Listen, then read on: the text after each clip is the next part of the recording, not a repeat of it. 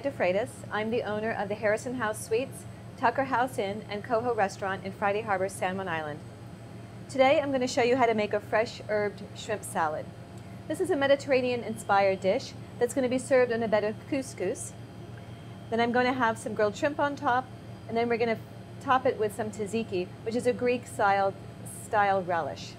So we're going to make the three pieces, the couscous, the dressing, and the relish, the tzatziki. Then we'll go to the grill and we'll do the shrimp and we'll come back and we'll plate the salad. So I'm going to start with the tzatziki. I have some Greek style yogurt here that I've strained in cheesecloth overnight. Okay, to that I'm going to add some fresh cucumber that I've peeled and diced. A little garlic. A little squeeze of lemon, a little vinegar, some dill, a little olive oil, and some fresh pepper. This can easily be made overnight and the flavors will marry quite nicely.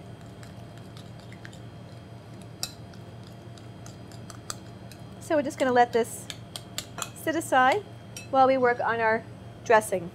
So I've roasted some garlic in some olive oil, and I reserved the olive oil because I'm going to use that as the olive oil in my dressing as well. So I've macerated or mashed my garlic. I'm going to add a little bit of the olive oil and some lemon.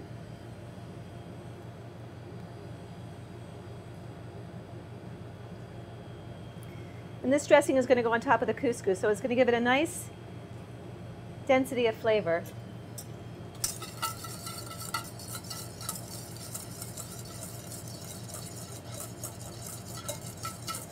Mm, you can smell the lemon and, and the garlic. And I can add a little bit more olive oil just to give me a little bit more liquid to work with Okay, and to that I'm going to add some couscous. I've par cooked, actually I've cooked the couscous um, just like rice, one part liquid, one part dry ingredients. I used uh, chicken stock, again, just to give it some depth of flavor. If you were doing a pescatarian salad and you wanted to keep it just seafood, you can use a vegetarian uh, stock, or you could use water. There's plenty of flavors going on here, so I don't think anybody would miss the stock. So we're just going to combine this And that's our dressing. And then to that, we're going to add some herbs. We're doing a fresh herbed uh, shrimp salad. So I have some thyme, some parsley, some tarragon, and some mint. The mint really gives it that Mediterranean flavor. Okay. And then I'm going to toss in some roasted cherry tomatoes. It's going to be really quite pretty and some Kalamata olives.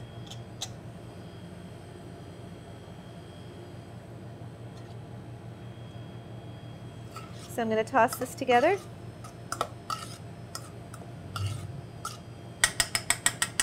So I'm going to pause right here. We're going to go to the grill. I have my marinated shrimp.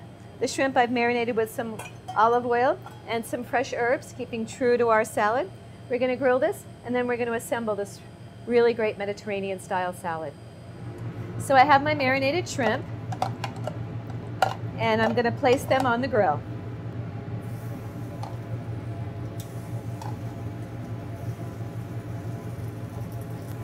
And when they have a good sear on them, they begin to caramelize. I'm going to turn them over and we'll do the other side.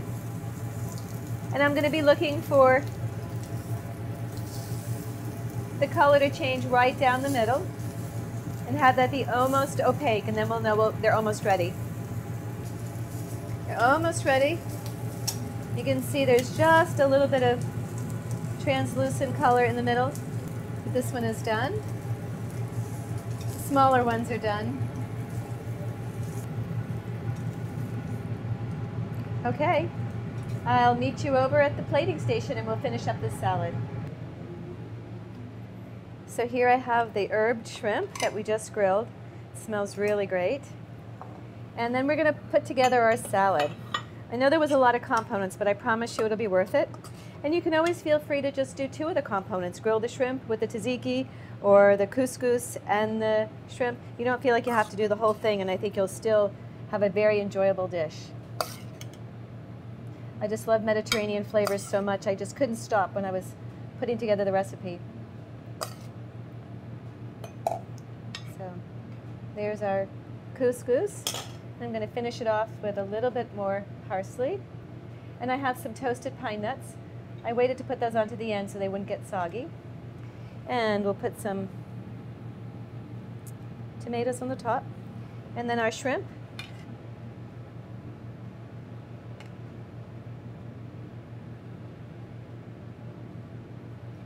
And then we'll finish it off with a little tzatziki.